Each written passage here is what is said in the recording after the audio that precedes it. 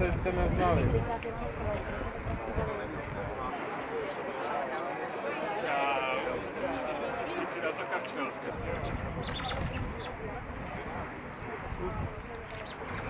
Trať eh, na dědině, už třetí tramvajovou trať otevíranou v tomhle roce. Je to tak, Praha zažívá neuvěřitelný boom rozvoje eh, tramvajových tratí. Eh, V květnu to byla tramvajová trať na Libuš, minulý týden tramvajová trať z Holině do Slivence. No a teď se potkáváme tady na Pražské dědině.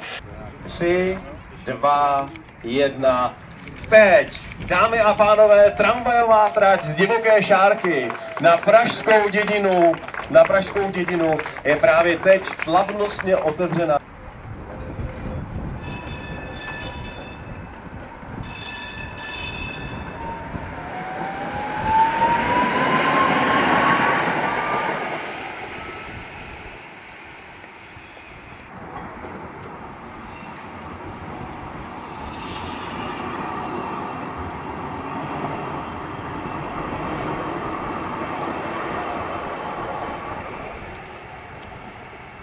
No.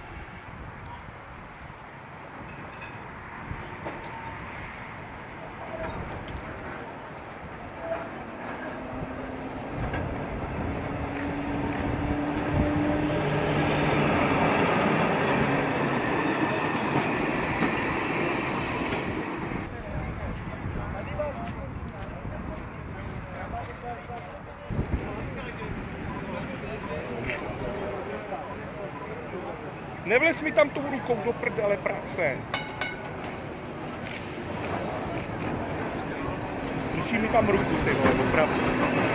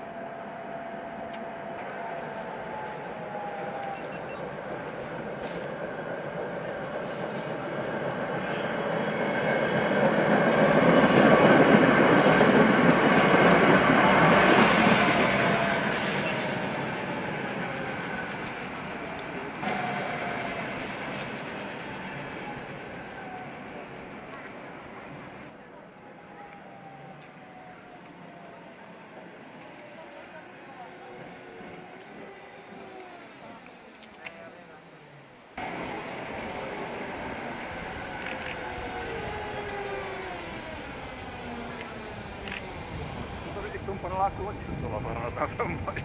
Tak na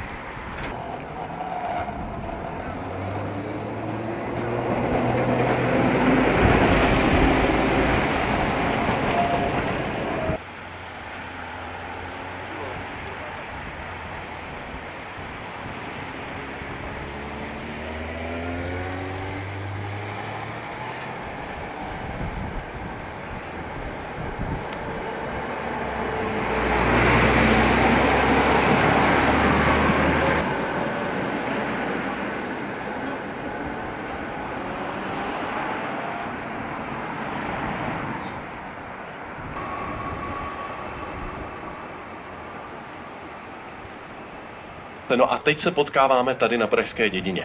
A potkáváme se u tramvajové tratě, která vlastně byla v myslích socialistických inženýrů už v té době, kdy začalo vznikat sídliště na dědině.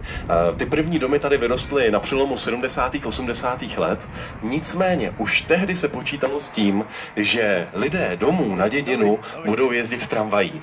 Někdo by mohl říct, že ta tramvaj má nějakých 40 let spoždění, eh, která ukázala, že má chuť, sílu a také dokáže najít tu cestu, jak tyto projekty dotáhnout a jak pražskou tramvajovou síť neuvěřitelným způsobem posouvat dál a dál dopředu. No a je to zároveň tramvajová trať, díky které si celá řada lidí oddechne. To je také potřeba říct. Hlavně tím, že je ta tramvajová stavba dokončená. Tak eh, místní budou rádi, že můžou zase už konečně někde zaparkovat.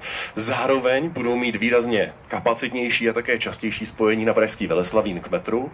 Zároveň si ale oddechnou všichni, kteří v raní špičce eh, proudili ať už autobusem nebo autem po Evropské ulici eh, směrem do centra, protože právě stavba tramvajové tratě způsobila celou řadu omezení a kdo jezdíte třeba autobusem od Kladna, tak víte, že tím, že ta stavba končí, to od pondělí bude mnohem lepší.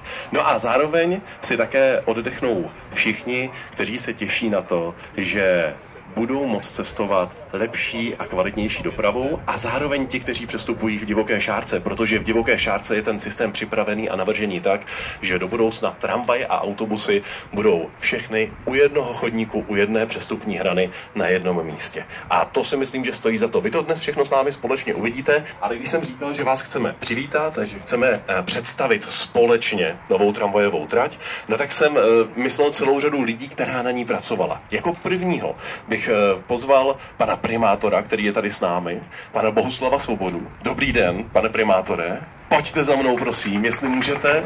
Je ve světě i slavné tím, že jeho městská hromadná doprava eh, je, bývá hodnocena jako nejlepší na světě, nebo jedna z těch nejlepších. Tak eh, přispívají k tomu i tyhle projekty? Takový projekt tomu samozřejmě přispívá a ten fakt, že ve všech hodnoceních, které dělají dopravní experti, vychází ta Praha na nejlepším místě, že řada studií říká, že skutečně Praha má nejlepší dopravu, tak toto je jenom ukázka toho, že se o ní i nadále staráme.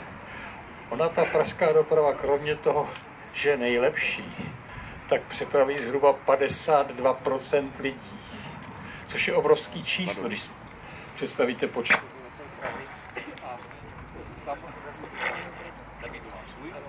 A samozřejmě taková číslovka je úplně zarážející.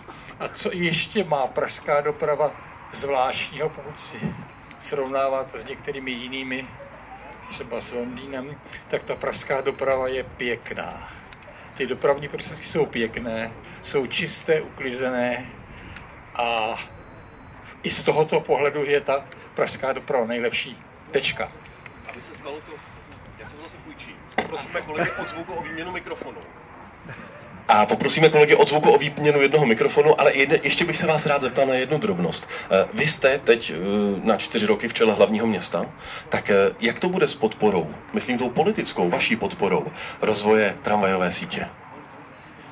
tak naše podpora zůstává pochopitelně u hromadné dopravy, protože hromadná doprava je ta nejvýkonnější v pražské dopravě. Samozřejmě víme, že máme automobilismus, víme, že máme cyklisty, že máme chodce, ale pražská doprava je nejdůležitější. Proto také pokračujeme dál. Já jsem byl v pátek eh, v Komořanech, kde se připravuje zase prodloužení tramvajové trati, protože tam vznikne nové velké sídliště, které bude mít řádově nižší tisíce obyvatel, kteří se budou potřebovat dopravit do Prahy a tam po té staré vlečce se vlastně přiblíží ta tramvaj v místě, kde jí byly koleje a zase budou koleje. Bohuslav Svoboda, moc vám děkuji. Vaším náměstkem, prvním náměstkem, který je odpovědný, Zdeněk Hřib, první náměstek eh, primátora pro oblast dopravy a také předseda dozorčí rady dopravního podniku. Pane náměstku, my jsme s panem primátorem teď nakousli ten rozvoj tramvajových tratí. A tady ale jsme sice na konečné, ale ta tramvaj by mohla jet ještě dál vlastně z dědiny. Jak to bude? Přesně tak. Tady to vypadá, že když je tady taková eh, krásná nová eh, tramvajová smyčka, tak eh, že to tady končí podobně jako v tom Slivenci, který jsme otvírali dříve tento měsíc, ale ve skutečnosti tady ta tramvaj by měla do budoucna pokračovat dál přes Pražský okruh, potom takové mostě, který je tam teď takový trochu bezprizorní, tak doufám, že půjde využít pro novou tramvajovou trať, kterou se dostaneme až k tomu novému dopravnímu terminálu Dlouhá míle, který stavíme ve, nebo budeme stavět ve spolupráci se zprávou železnic. Společně s tramvajovou tratí by měla také vzniknout na křižovatce Drnovské a Vlastiny eh, také parkovací dům. Jak je na tom? Ten připravuje město. Ano, přesně tak. Teď jsme v nějaké fázi, eh, kdy končí hodnocení nabídek, které byly doručeny pro Eh, tady tuhle stavbu. Je to vlastně 290 parkovacích míst za zhruba 290 milionů korun. Zhruba jedno parkovací místo tedy město staví za zhruba 1 milion korun. To je, řekněme, v poslední době obvyklá cena.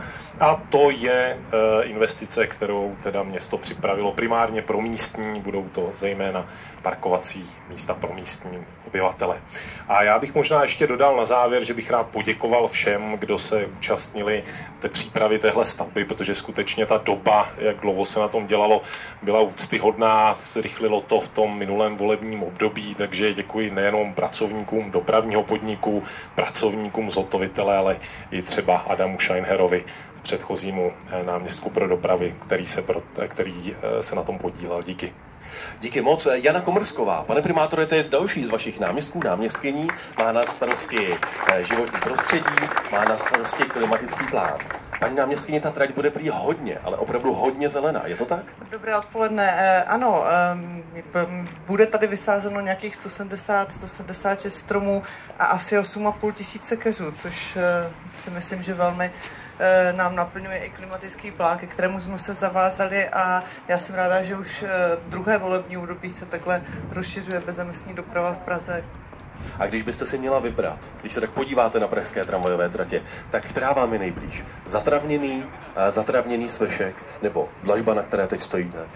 No všechno má své pro a proti. Samozřejmě zatravněný e, vršek e, má své důležitosti v údržbě a náročnosti, ale samozřejmě je to otázka otázka toho, co se preferuje.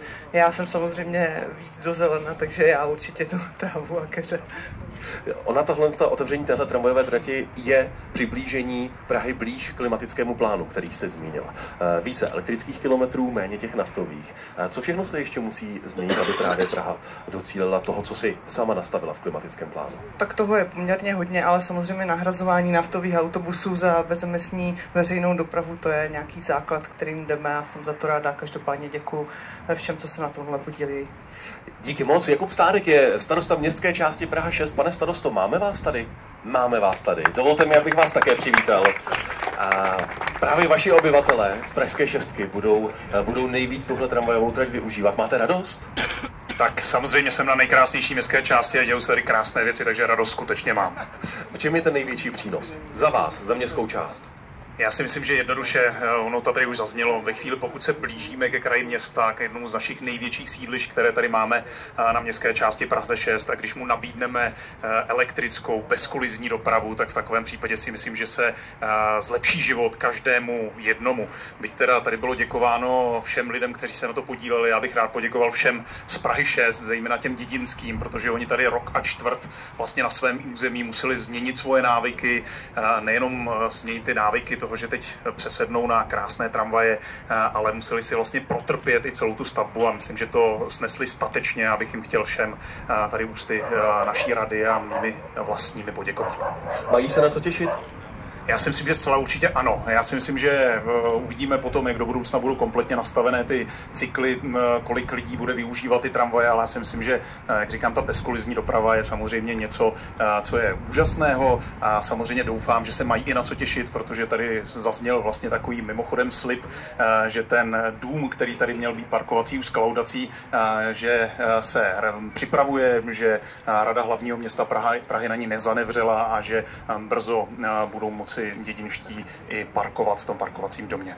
Díky moc, pojďme pozvat také zástupce dopravního podniku. Eh, Petr Vitovský, generální ředitel, se omluvil ze zdravotních důvodů. Není mu dobře, mrzí ho to, nemohl za vámi dorazit. A tak bych moc rád pozval Jana Šurovského, jestli je tady. Eh, přijel z tramvají T3 Coupé, člen představenstva také technický ředitel dopravního podniku pro povrchové stavby. Eh, pane řediteli, laicky mi přijde, že ta tramvajová trať vyrostla jako neuvěřitelně rychle. Tohle teď bude už standard? No, tak dobrý den. To je výzva. Každopádně eh, ta stavba opravdu proběhla mimořádně rychle. Eh, možná si to někdo neuvědomuje, ale vlastně výstavba začala reálně 1. července minulého roku a dneska už jezdíme. Eh, není všechno ještě hotovo, bude se ještě dodělávat věci okolo. Měli jsme poměrně dlouhé léto, a není vhodná chvíle ještě vysazovat třeba některé typy dřevin. Já jsem se na tohle chtěl právě zeptat, protože eh, vlastně trendem poslední doby je zprovoznit provoz co nejdříve, a je, i když ještě ta stavba není hotová definitivně. To znamená, těch dokončovacích prací je před vámi ještě hodně. Tak je, to uvidíte konec konců, až budeme projíždět společně trať, co se musí dodělat, byť ne všechno jsou naše činnosti. On se s dopravním podnikem Lec, který další investor svezl, tak říkajíc, eh, pod hlavičkou naší stavby, ale eh, jsem určitě té zásady, že je potřeba vyjet hned, jakmile to jde. Platilo to zejména minulý týden ve Slivenci, kdy jsme si potřebovali odblokovat obousměrné tramvaje jenom.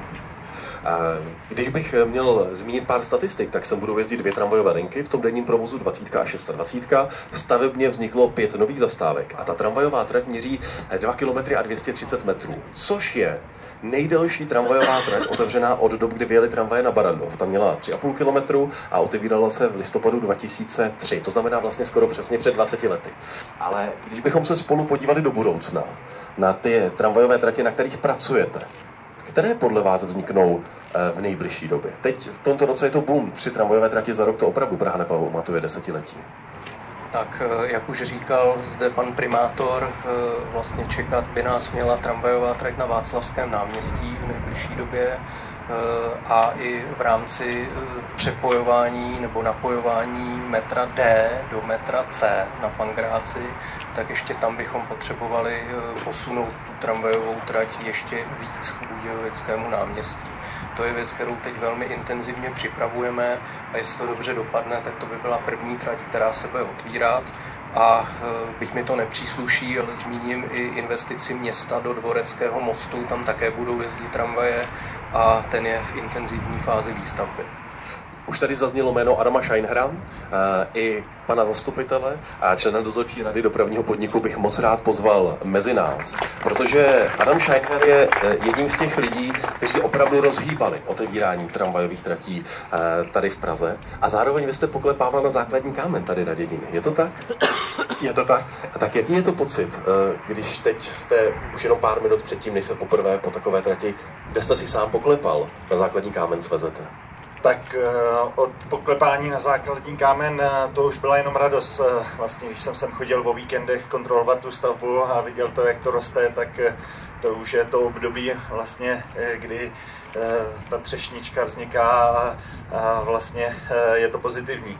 Obrovsk, obrovsky složité ale bylo martýrium s povolovacími procesy, kterými jsme si museli projít, protože vlastně trať procházela posouzením vlivu na životní prostředí už někdy v roce 2013 a územní rozhodnutí jsme požádali v roce 2019, ale přišlo odvolání, takže přišly složité dohady právě s místními. Díky tomu se ten projekt upravil upgradeoval, aby zde bylo vysazeno asi 100 stromů více a pak byly velmi složité majetkoprávní vlastně vypořádání, kdy jsme museli projít a pomáhali jsme dokonce v soudním sporu ministerstvu obrany, aby získal své pozemky zpět, aby nám je následně mohl přeprodat. A to znamená, zní mi to mezi řádky, jako že vám vlastně teď spadl obrovský kámen ze srdce, že se to povedlo je to obrovská radost. Adam Scheiner, moc vám děkuji. S hotovitelem stavby, tedy tím, kdo postavil tramvajovou trať z divoké šárky na dědinu, byla Subtera. Je tady s námi Jiří Tesař, který je členem představenstva, také obchodním ředitelem společnosti Subtera. Pane řediteli, pojďte prosím za námi. V takhle šibeničním termínu, takhle složitou stavbu, na kterou je navázaná uh, desítky a desítky dalších přeložek, třeba inženýrských sítí. Tak určitě je to velmi obtížné. Za společnost Subtera tady Eh, práce realizovaly tři divize, podzemní, dopravní a technologická. Eh, opravdu eh, ten čas byl velmi šibeniční. Vemte si, že tady bylo 124 stavebních objektů, čtyři provozní soubory, ne všechny, ne všechny objekty realizovala naše společnost, některé, jak už tady bylo řečeno, jsou v gestích speciálních společností, takže byli jsme nuceni přijmout akceleraci, tak, abychom eh, ten, eh, tu dobu výstavby, která byla, eh, splnili. A mě by zajímala jedna technická zajímavost. Ona by to měla být prý jedna z nejtěžších tratí vůbec, protože v některých částech je založená na antivibračních rohožích. Jak tohle funguje? Ano, tak máte pravdu. Část této tratě je založila na velmi sofistikovaném způsobu, to znamená dvojitá betonová vana, která v sobě má pružné antivibrační rohože, které přináší rázy a nad nimi je systém metra. Takže ano, bude to jedna z nejtěžších, ne nejtěžší trať tady na tom úseku. Jinak, jestli ještě můžu vzpomenout, tak rok 2003 tramvajová trať na Barandově opět realizovala naše společnost. tak gratulujeme, že se vám to povedlo opět, pane řediteli. Děkuji vám. Ta tramvajová trať není úplně levná záležitost.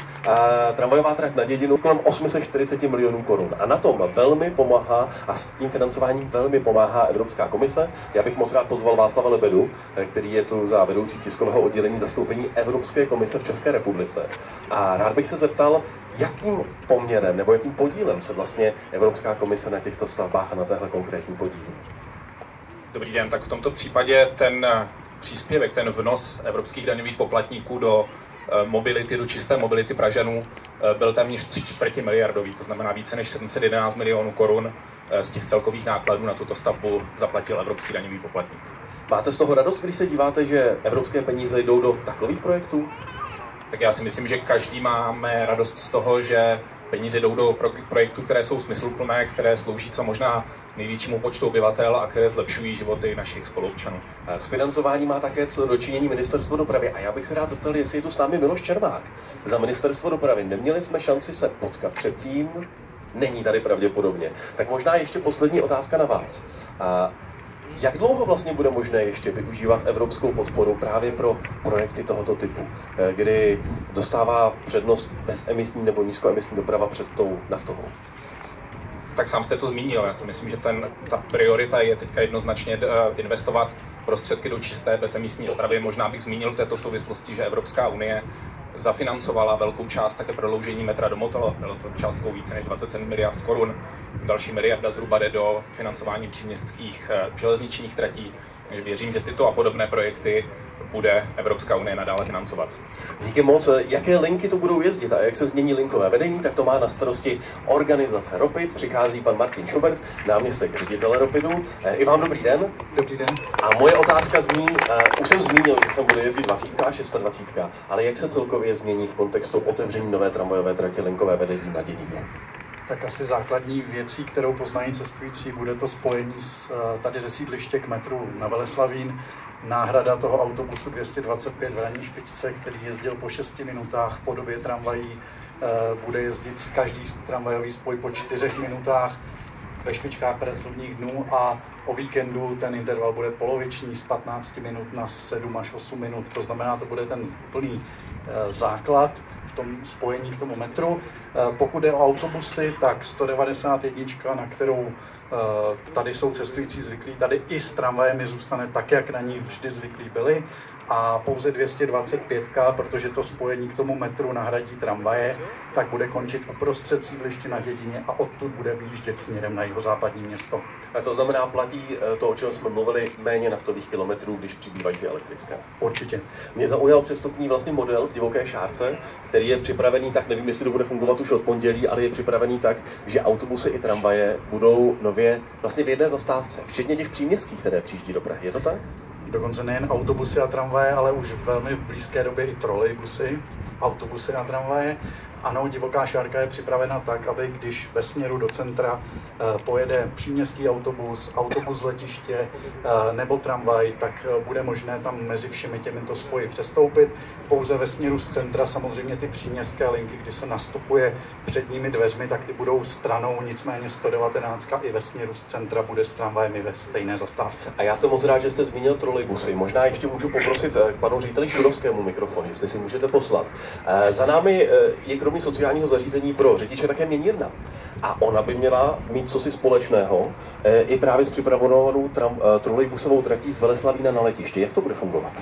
Ano, je to tak. Eh, Jedná se o kombinovanou velkou měnírnu pro tramvaje i trolejbusy. Ta trolejbusová část je vybavená, ale ještě zbývá dobudovat kabelovou trasu a vlastně zavěsit eh, troleje v části Evropské ulice, kde se teď nestavila tramvajová trať. Tam, kde se stavila tramvaj, už je i trolejbus hotov. Tedy jedna stavba, která bude sloužit jak pro tramvaje, tak pro trolejbusy.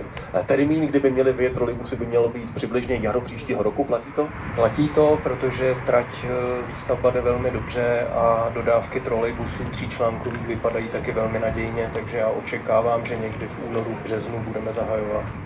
Dámo a pánové, moc vám děkuji.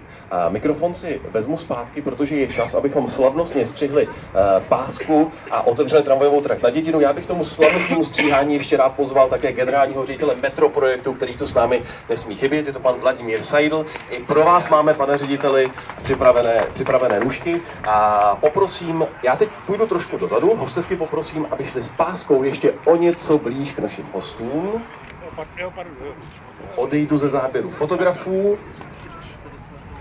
A pana primátora poprosím trochu doleva, aby byl na záběru před páskou a pojďme to odpočítat.